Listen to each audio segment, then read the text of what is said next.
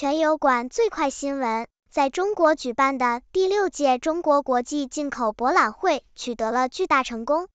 来自一百五十四个国家、地区和国际组织的参展商齐聚一堂，参展数量再创历史新高。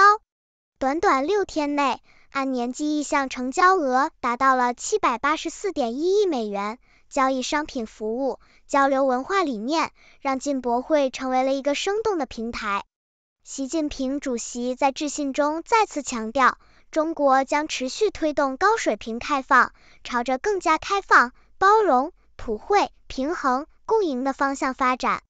进博会增加了企业的增长和国际合作伙伴的链接，为中国与世界携手创造更多精彩的故事提供了契机。订阅新闻极速递，最先知晓天下事。